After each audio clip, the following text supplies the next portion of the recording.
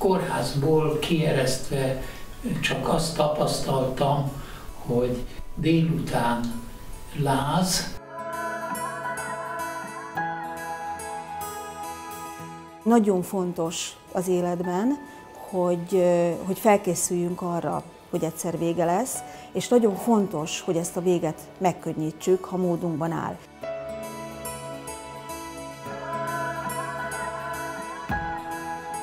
A gyógyíthatatlan betegek emberhez méltó életvégét szeretnénk mi biztosítani. És nem tudnának otthon egyszerűen ellátni már. Akkor eljöttem ide egyszer egy ültetésre, egy nácisz ültetésre, és akkor ez így itt meg, megragadott.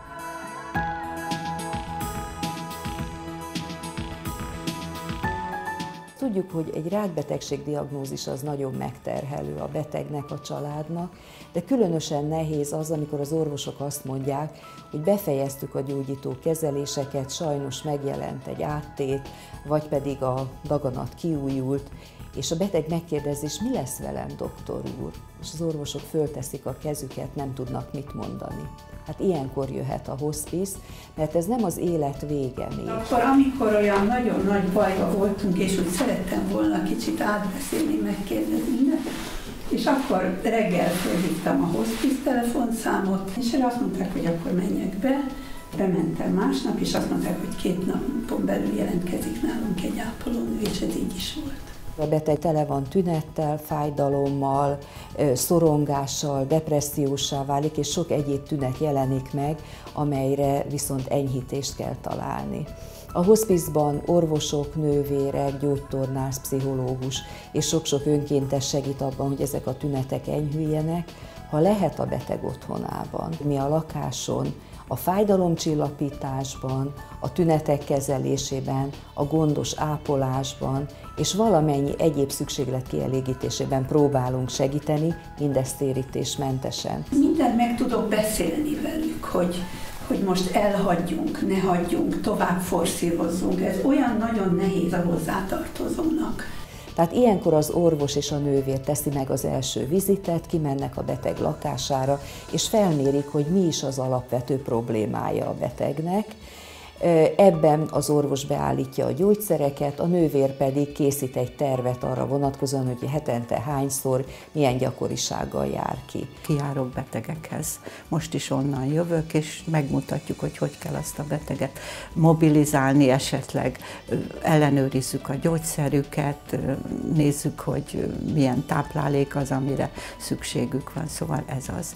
És hát, hogyha egy kicsit is úgy látjuk, hogy, hogy az állapotuk nem rohamosan romlik, akkor az, az egy nagy sikerélmény. A muszat is doktornőt mindig föl tudom hívni, hogyha bármi gyógyszer aggályom van, vagy, vagy kérdésem van. Tehát ővele mindig tudok telefonon is beszélni, tényleg bármikor, szinte már röstelem. Ennek a szemléletnek a központjában, középpontjában az életminőség áll. Most már kilátogatok egy jégkorong mérkőzésre, mert az unokám azt serdő válogatottként folytatja, és vasárnap már az újpesti stadionba fel tudtam menni az első emeletre. A Budapest Hospice Ház az hátteréül szolgál az otthonellátásnak. Ez egy tízágyas fekvőbeteg részleg, ahova azokat a betegeket tudjuk behívni, és tudjuk lefektetni, és tudunk egy emelt szintű ellátást nyújtani, akiknek valahogyan otthon például a tünetét nem sikerült beállítani. A másik dolog például az agydaganatos betegek vagy agyi áttéttel küzdködő betegeknél a zavartság az nagyon nehéz a családnak. Ezeknek a betegeknek olyan típusú infúziókat kell adni, amelyet otthon nem tudunk. De van még egy indikáció a kórházi fekvésre, ez pedig a családtagok kifáradása hiszen ez az állapot, ez 24 órás szolgálatot jelent már a családtagoknak, és azt látjuk néha, hogy olyan kimerültek, hogy az is nagy segítséget jelent, hogy mégsem az ő felelőssége az éjszakai felkeléseket ki lehet azzal váltani, hogy a beteg itt van nálunk. Hogy érzi magát? Köszönöm szépen nagyon jól, és főleg ami fontos, fájdalommentesen. Jól van. Otthon már nem tudtak engem ellátni, már nem tudok lábrálni, nem tudok fürödni, nem tudok vízpelenkázni kell. fürdetni kell ülve, uh-huh. úgyhogy már semmit nem tudok csinálni. Úgyhogy nem tudnának otthon egyszerűen ellátni már. És hát a csillapítás, hát az a lényeg, hogy fájdalom nincsen. Az ápolásnak, az ápolónak jóval nagyobb szerepe van, mint egy aktív osztályon, én úgy gondolom. Szerintem az a sikerélmény, hogyha a beteg úgy tud meghalni, hogy úgy érzi, hogy le tudta zárni az életét, ott van mellette a családja, és tényleg békében és nyugalomban tölti az utolsó napjait, heteit. Én azt gondolom, hogy ez a sikerélmény.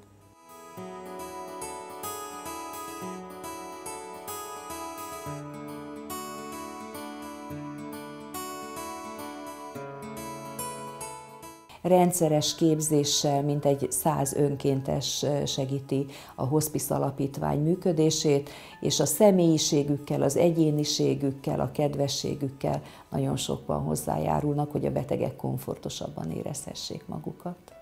Betegeknél is néha oda jutok, de a ház körüli dolgokba intézem a házügyeit, ha el kell menni a gázművekbe, de havatlapátolok, füvet nyírok és megszerelem a elromlott dolgokat. Eljöttem ide egyszer egy ültetésre, egy náci ültetésre, és akkor ez így itt meg, megragadott ez a dolog engem, hogy itt, itt milyen csoda dolgok történnek. Odaülnek a betegágy mellé, felolvasnak, kikísérik a beteget, beszélgetnek velük, a szorongásokat nagy mértékben oldják. Van egy fodrászhölgy, aki hetente egyszer bejön, és azoknak a betegeknek a frizuráját megigazítja, befesti a haját, ha kell, bedauerolja, akik erre vágynak és szeretnék. Az ember bármikor kerülhet olyan helyzetbe, hogy személyesen is érintett lesz, és, és nagyon, nagyon jó lenne, hogy, hogy még talán azelőtt, mielőtt személyesen érintettek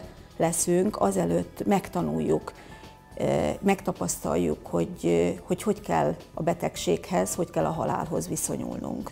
Én a jelenlétemet ajánlottam fel, nagyon fontosnak tartom azt, és talán ebben tudok segítséget nyújtani, hogy minél nagyobb nyilvánosságot kapjon az ügy maga, minél nagyobb réteg és minél több ember jusson az információkhoz hozzá, amivel ez az intézmény informálni tud, és amiben segíteni tud, és talán ebben a munkafázisban részt tudok venni.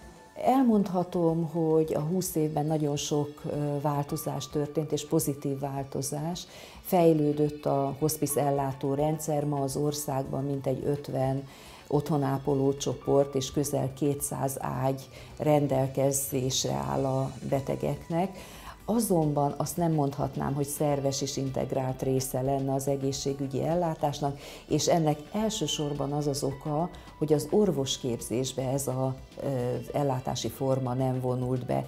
Palliatív ellátásnak hívjuk a tüneti kezelést, és ez a palliatív ellátás, ezt egyszerűen meg kellene tanulni az orvostanhallgatóknak a hat év alatt. Gyakorló terep kellene, hogy egy egyetemi klinikán gyakorolhassanak, láthassák ezt a nagyon más szemléletet. Mindenhol szükséges az empátia, de itt ezen van a hangsúly. Én annyi kedves embert életemben nem ismertem meg egy rövid idő alatt, mint itt, hogy, hogy, hogy orvosok, hogy nővérek, hogy önkéntesek, takarítónőket, mindenki annyira kedves, és mindent úgy tesz, hogy a betegeknek jó legyen, hogy nem is tudom, hogy ezt az emberfeletti munkát hogy tudják csinálni. A hospice ellátás a betegek és a családok részére térítésmentes, és ezt is nagyon fontos tudni, mert sokan azt mondják, hogy ez olyan luxus ellátás, hogy ez biztos valami elitista dolog. Nem, éppen azért térítésmentes, hogy az esélyegyenlőséget biztosíthassuk. Az otthoni betegellátásnak a 80%-át,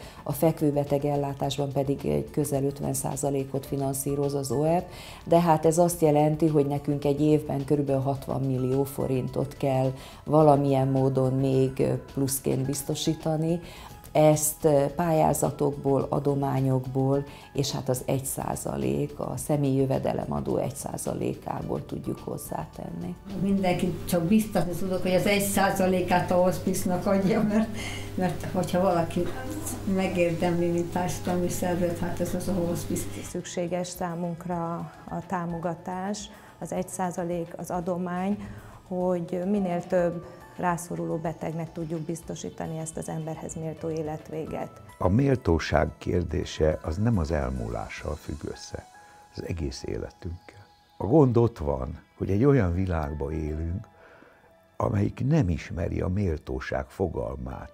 A méltóságot ö, olyan korokban, amikor még volt, azt tanították, csecsemőkortól kezdve. A Hospice Alapítvány szellemében magába öleli ezt az egész méltóság kérdéskört, és társadalmivá teszi.